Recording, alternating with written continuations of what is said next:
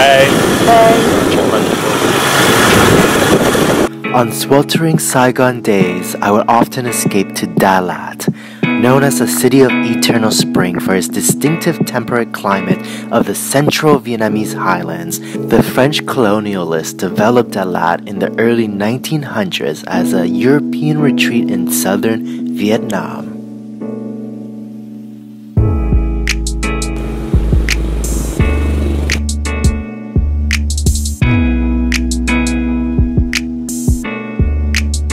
Spring mornings in Dalat are crispy. It reminds you that you've woken up in the mountains of Vietnam and that until the sun has reached over its peaks, the loosened calm chill has still taken a hold of the highlands. That's what making eating at Bang Can Lei so tantalizing is this hidden joint in a local outpost from a living room of a family home. Every time we come here, we have arrived before they're open, grabbing a seat at 7 a.m. 15 minutes later and this hole in the wall consistently always have a line for at least 45 minutes wait outside. Yup but their signature dish and the only dish a plate of mini savory Vietnamese pancakes cooked individually in coconut shells, topped with spring onions, quail eggs, minced beef to be dunked in a side bowl of marinated meatballs and fish sauce. The sizzling hotcakes crunches cut through the chilly morning, becoming the best wake up call and new tradition for us in Dalat.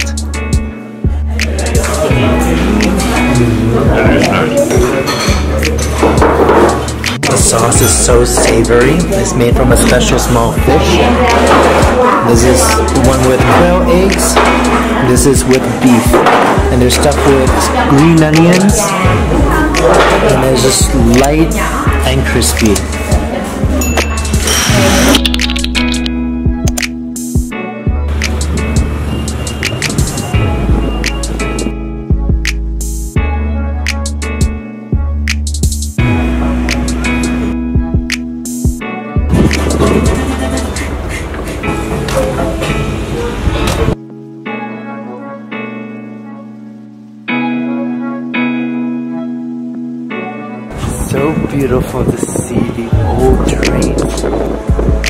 Display.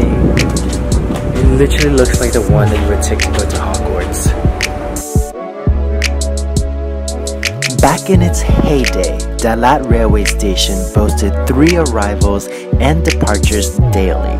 The French built the railway station itself, while the zigzagging tracks were planned and implemented by the Swedish, experts in tricky terrain a la all the mountains that surround this city.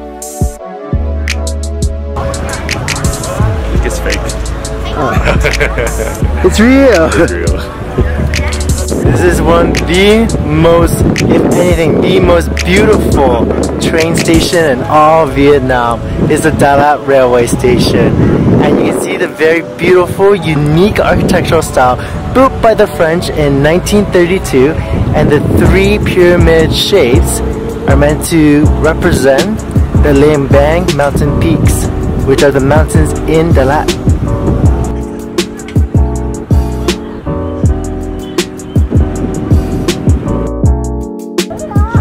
Dalat is so underrated in Vietnam. Not many international travelers come here aside from the local Vietnamese. On the one hand, I love it because it feels like we're just part of the locals in the city. And on the other hand, man, people are really missing out. From the food to the mountains to the lake to the architecture.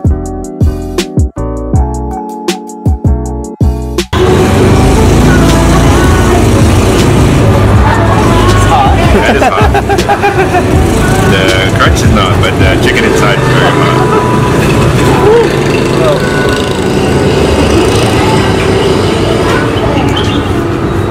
Oh, the chili is so chili too. And that was ketchup. No, the other one's ketchup.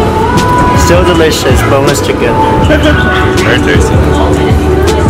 What else do you do when you're on holiday aside from eating?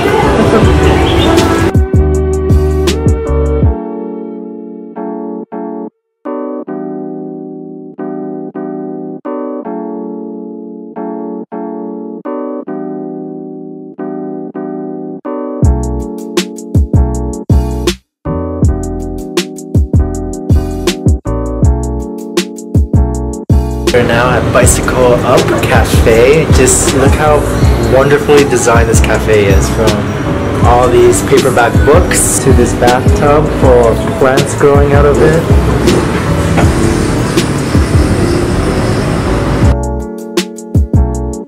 The menu is on this wooden block. I was gonna say brick, but it's not brick.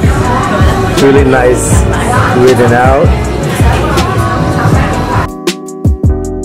Dalat is already a city of romance, but something tugs at my soul even further by canoodling in one of the many cozy nooks of the Bicycle Up Cafe. From its yesteryear trinkets and vintage bikes and old school pianos, it just feels like we're in a nostalgic time capsule of 1960s Vietnam.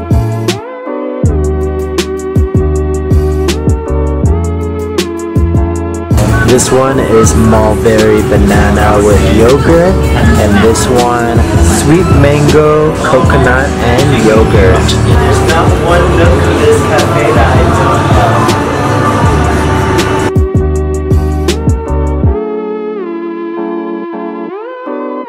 With no plans or itinerary, as life should be in Dala, a place where you go to escape, unwind, and rest, we ended up hopping from one cafe to another, exploring the mountain city through its drinks and bites.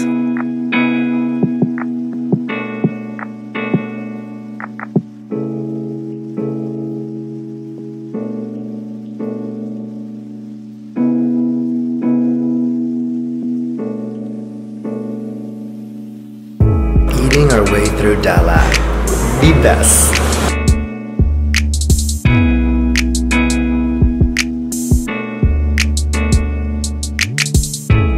This is the Lin Pagoda, and as many churches as you can see in Dalat, there is also many pagodas and temples around too. What I love about this space is it's so peaceful, and there's a lot of art students just sitting and sketching the pagoda. It's a really nice scene to see.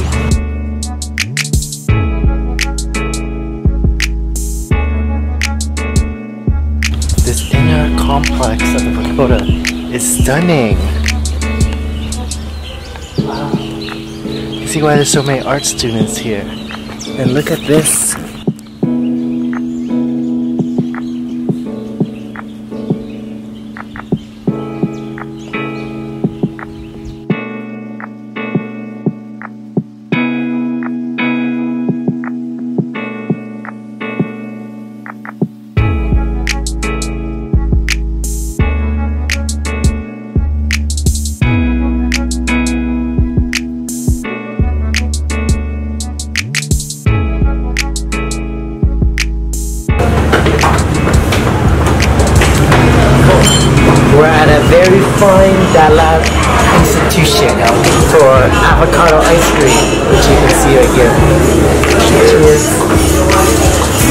The avocado is so fresh, and the ice cream blending in with it, ooh, so nice.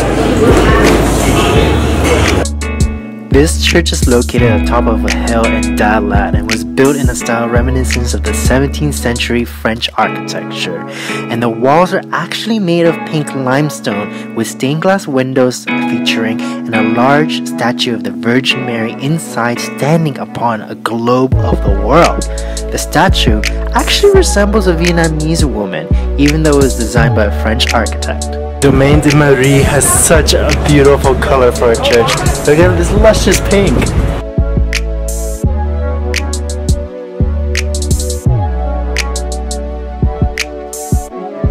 We just stepped into this beautiful church complex, and this church has two nunneries, and this is part of it. Wow, the architecture here is just so stunning. You can see the arches throughout all of the windows and the color pink prevails.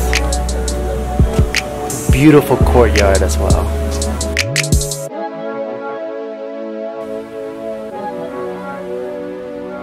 Dalat is this wonderful, stunning mountain city in the middle of Vietnam. And as you can see, I'm wearing sweaters. And in this video you'll see lots of people wearing winter clothing, jackets, coats. It's like being transported into another world where you actually have something that is not 40 degrees. And in the morning is actually about 17 degrees.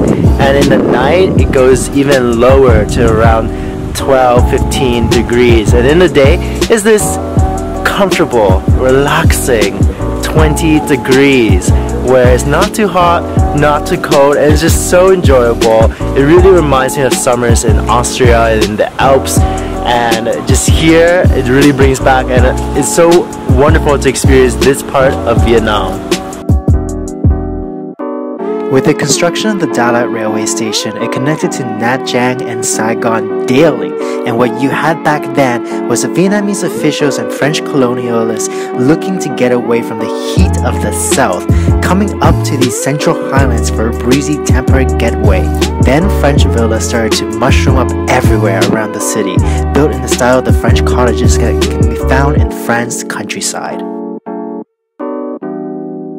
This is the French quarters of Dalat, which is a whole neighborhood of these beautiful late 19th century French architecture everywhere. There, there. It feels like I'm taking a trip back in time.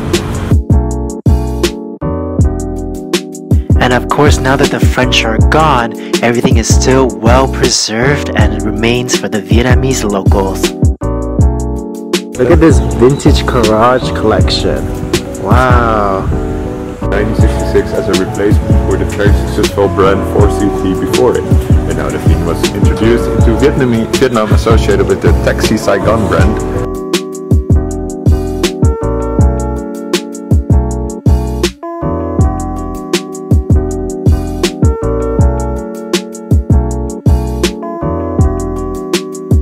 surrounded by pine forest and here is the King Palace. So this is one of the many villas of the King Palace. And actually it was built by a French billionaire in the 1940s. It's kind of crazy to think that the French colonial time wasn't that long ago.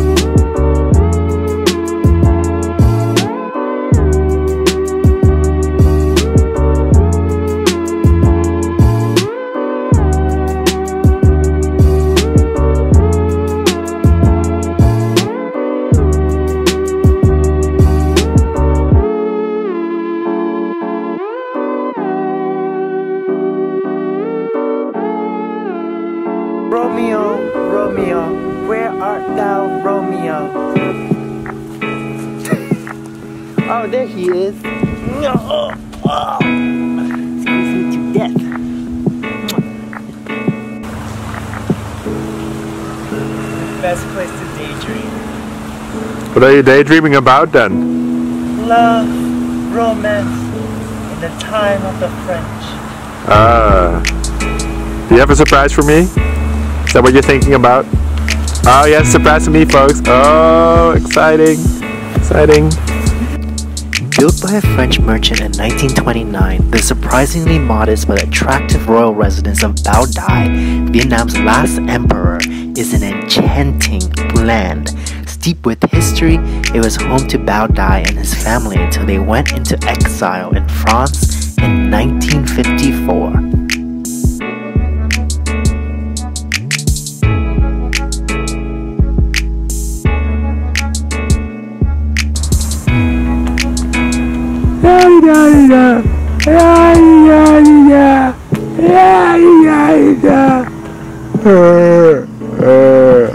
Wow, this huge stone walkway to the Bao Dai Emperor's palace is just magnificent.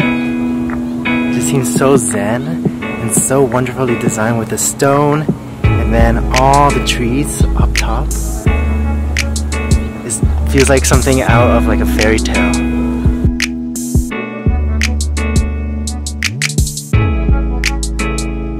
Love exploring this huge palace seeing the interiors of it. There's really nice little details everywhere. He's wearing a French uniform,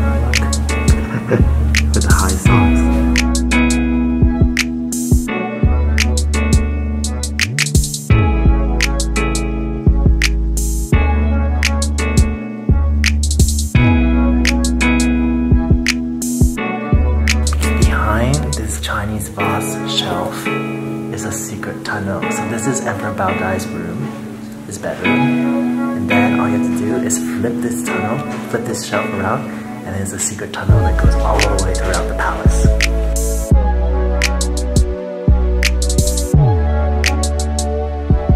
Emperor's underground tunnel came 3 meters under the ground, leading all the way out into a helipad. Ooh. Wanna get out of here?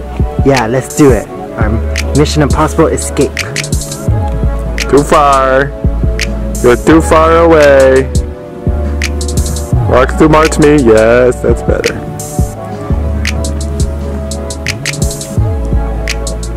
Hey, where are you going? This is a palace fit for an emperor. Hey! Yup, yup, yeah! so not royal material. Just Logan material. Watch out, there's a deer behind you. Oh no!